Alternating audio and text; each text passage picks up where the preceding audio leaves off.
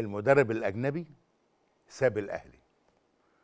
أعضاء اللجنة العليا اتناقشوا في أمر تدريب فريق كرة القدم وجه في محضر جلسة 9 يوليو سنة 1926 عرض حضرة السكرتير على الهيئة ضرورة إيجاد مدرب لأعضاء فريق الكرة وبين أنه يمكن توفير ماهيته من إيرادات النادي.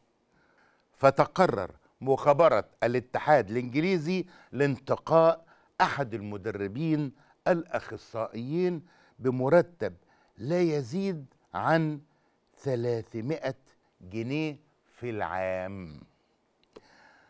ونتنقل للجمعية العمومية اللي انعقدت يوم 26 نوفمبر 1926 الجمعية اللي شهدت إضافة مبلغ 50 جنيها في مشروع الميزانية لذمة إنشاء مرسح توطئة لإنشاء فرقة تمثيلية بالنادي. أيوة كده زي ما سمعتوا بالظبط مكتوبة مرسح. وبالمناسبة ولحد النهاردة في لسه كبار رواد المسرح بيقولوها كده مرسح. طب ليه؟ لأنها في الأصل مرزح بمعنى أرض فضاء منبسطة فتطورت وبقت مرسح قبل إنشاء مسرح في النادي كانت الحفلات بتقام إما في الحديقة أمام صالة راتب أو بالصالة نفسها في الشتاء.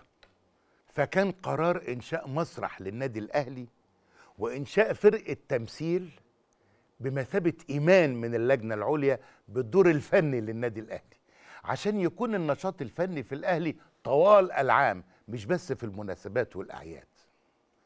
في نفس الجمعية العمومية يوم 26 نوفمبر 1926 وزي ما جه في محضر الجمعية تلي الاقتراح المقدم من حضرة نجاتي بك أباظة عضو النادي بشأن إدخال لعبة الجولف بالنادي فوافقت الجمعية العمومية على ذلك وأحالت تنفيذه إلى اللجنة التنفيذية لإجراء اللازم. وهكذا دخلت للنادي لعبة جديدة تضاف للألعاب اللي بيمارسها الأعضاء.